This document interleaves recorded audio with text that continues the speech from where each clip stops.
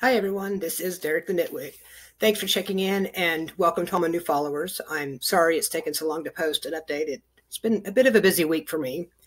Last Saturday, I spent the day with my sister at an event in my hometown called the Midtown Walkabout. It was fun spending time with her, although, you know, we did, you know, both wear ourselves out that day. And Monday I went and got my flu shot. Since I got it at the health department, you know, there was about a two hour wait for a five minute appointment time, but, you know, the shot was free, so I can't really complain. Tuesday was my crochet class at Joann's. This time the power was on, so we were able to actually have the class. There were two other people taking it as well. Since they were brand new to crocheting, I got a refresher course, which, you know, is always helpful. I also got some help with crocheting in the round my sister wasn't able to take the course with me. She was getting ready to fly to visit a friend the next day, so she was a little too busy to go. I did get some information about private classes, which I think my sister will actually be more comfortable taking. I taught my sister how to make a hat and blanket by loom knitting, but I don't have the skills yet to be able to teach her, you know, the, the basics of how to crochet. But once she does get the you know the initial stitches down, then I'm sure I'll be, I'd be able to help her with any issues that, that do pop up. Wednesday was laundry day. I don't have a washer and dryer, so I had to go out to a laundromat, which it's not a that's not a big deal. Laundry day gives me plenty of time to work on my junk blanket. Thursday was therapy day. Max and Little Miss both went with me this time instead of just Little Miss. They wanted to show off their Halloween costumes. Max was a police officer and Little Miss was a bat. Little Miss didn't mind her costume, but Max was ready to get out his pretty quickly. On therapy days, I also get to spend a lot of time working on my junk blanket because the bus system gets me to my therapist about 45 minutes before my session starts. So I have plenty of time beforehand, and then I have about 45 minutes to wait for the bus after my appointment. So I get a lot of work done on the blanket on those days. Since I peopled so much the first part of the week, I spent Friday and Saturday to recuperate and basically just be a hermit um, I did briefly wander out of the house today, but I think I'm fairly well recovered and ready to handle humanity again. But on to my yarn work. I ended up frogging the hat that I started knitting for my friend. I goofed up and had started using the wrong size needle, so the hat was going to be way smaller than what I needed to be. I did restart it yesterday, and this is about an hour's worth of stitching or of knitting. So I'm I'm happy with the progress. It's only going to take me you know, it shouldn't take me more than a couple more hours to get the hat finished. I have done a lot more of those. I can't say the word amigurumi balls. And Max and Little Miss, they keep stealing them, and a lot of times they don't even wait for me to finish before they steal them. So I've had to chase them down to get the balls so that I can actually stuff them to let them play with them. Max loves to play fetch, and they're the perfect size for him to carry around. And it's cute just watching him walk around the house with a ball in his mouth. I've also found a pattern for kitten nuggets that I like. They are these tiny little things. You even have a little tail. Um, they're perfect for using at the tail end of your yarn, like little scraps of yarn that you have left over. I did have to learn the bobble stitch. That's what makes the ears. Let's see if you can tell. And the bobble stitch was a lot easier than I thought. I mean, basically, it's five double stitches in one thing. I had put off learning, you know, working this pattern for a long time just because of the bobble stitch, but it was a lot easier than I expected. Um, and then I just used some embroidery thread to make the eyes and the nose and mouth. Uh, and I like it. They're, um, they're they're easy, but not as easy as the balls. But I think now that I know the bobble stitch, I'll look for a lot more patterns that actually use it just because it's a fun little stitch to do. And I will include the link to that pattern. It was one I got for free off Ravelry. So I'll include the link in the description down below. While I was at Joann's, I picked up a latch hook rug kit. I used to love doing them as a kid, but being the impatient ADHD kid I was, I almost never finished them. So there was always a ton of, you know, half finished rugs and then of course you know you lose the yarn and so then you can't do anything with them. Now i still have adhd and i don't always have a lot of patience but i find the kits calming now. I mean to me it's kind of like diamond painting. It's like a adult coloring. The, the repetitive steps they just work so great at settling my brain and i like seeing the picture slowly appear. This kit i love. Upside down. Because maxes that color and little misses that color. So it's, it was just perfect. So I work on that. And thankfully, while I'm doing it, the cats aren't trying to steal my yarn like they usually are. Now, I started working on a hat when I was in the crochet class, when I was working on crocheting in the round. And this hat, it didn't take me that long to finish, probably just a couple hours. The pattern actually called for it to be a brain hat. And I crocheted the cord to make the, the little brain wrinkles, but I couldn't get them to lay like I wanted to actually look like a brain.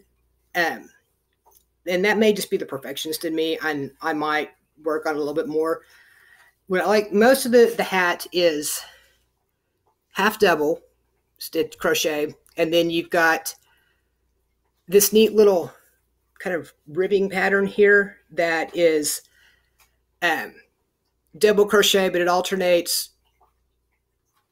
in front of the post, behind the post. And so I was just kind of tickled to learn, you know, that stitch as well. And then it just goes down, you know, you add some white, you know, and the rest of it is just single crochet at the bottom. What I probably will end up doing with this hat is putting it in my donation pile because it's the weather here is finally starting to get to be autumn weather, and the area of town I live in, we have you know, a, huge homeless you know population where I live. Like I live kind of midtown, so they tend to congregate. Um, between this and there's uh, another agency called Other Options that works with um, HIV positive people that I will I donate a lot to them as well. You know when I have stuff to donate. So between either you know the homeless shelters or other options, that's where you know I'm to start working on you know getting hats ready for people. I did more work on the purple blanket. Um, I because it's so wide and I'm just knitting, you know, in rows. I've only got a couple rows done, but that project is the one that I go to when I'm just getting frustrated with everything and I need something mindless and super simple that I can just do and to help me relax. So, you know, I've I'm not going to show the progress on that because I maybe I've done maybe like one and a half, two rows on there. One of the things I'm curious about is when how everyone does the yarn, like when they change colors, like in this hat, you know, you're going from the pink, the blue to the white. When I uh, started when I was loom knitting, what I would do would just tie a knot and then when I was done, weave in the ends. When I took the knitting class, they taught us to just add the yarn without tying a knot and then you, you weave in the ends as you go, which it works and it's great because once you're done with a couple rows, you don't even see, you know, the ends of the yarn. But it is hard at first because there's not, you know, you've got a loose end of yarn and you've got to figure out how to, how to hold the tension just to get the first couple st- stitches in. Um, I have a video coming up in my watch later queue that's on it's a tutorial on the magic knot so i'm going to try learning that when it comes up. Um hopefully that it'll pop up in the queue sometime this week. But you know i'm just curious how do how do you guys handle the yarn changes? I got a new set of bamboo crochet hooks and a pair of aluminum knitting needles from ebay this week i'm a bit ambivalent about the crochet hooks they do have a great pointed end which is nice because I tend to have a fairly tight tension and this makes it easy to get into the stitch without splitting the yarn. They don't slide as well as the aluminum needles do. There's nothing that snags it or anything. They just, it doesn't slide as well. It may be something that improves with time or just maybe how bamboo needles are. That's not necessarily a bad thing. It's just something I'm not used to. One problem I do have is this the hook part is not as deep as they are on my metal hooks. So when I'm crocheting and I'm pulling the, you know, the yarn through the stitch, I have to take the this and you know twist it to keep the the yarn on the on the hook, which I don't like that. That may just be something like that I need to get used to. It may be something that makes it end up where I don't use these crochet hooks that much. But since I only paid $2.71 for a set of 12 of them, I feel like I got a fairly good deal. Now, the knitting needles, they are 3.5 millimeters and they are 13.78 inches long, I think. They are kind of, because they're so thin, they look like they could bend. And I think one of them actually is slightly bent. I don't know if you can see that. Um, that I don't think that's really going to be a problem. I just feel like if I'm working a project that gets to be too heavy, that that could actually cause like significant bending.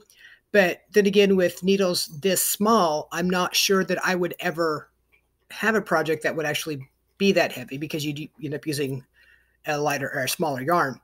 Now these knitting needles, I paid, let's see, um, a dollar forty-five for the pair, and so I mean that's not a bad price. You know, they do come from you know, from China. Most cheap things on eBay do. Um, there was free shipping, but and I had to. It took probably three weeks to get them in, which honestly, for a dollar forty-five, I'm not going to complain about a three-week wait. I had plenty of other things I was going to be doing. So I, like I said again, I still think that I got a really good deal on that.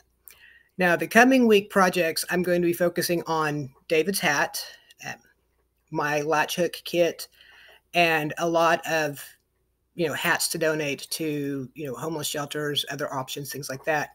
I do also want to experiment with the teddy bear pattern to see if I can make a bigger bear. I don't know if it's going to be something as simple as just doubling, you know, all the the counts in the yarn, or if it's going to be something that I need to find a pattern converter or something but that's you know something I'm going to experiment on. You know, good way to learn something. So let me know in the comments what projects you're working on and how you handle skein changes. Have a great week, everyone. What you gonna do? What you gonna do when they come for you? Bad boys, bad boys. What you gonna do?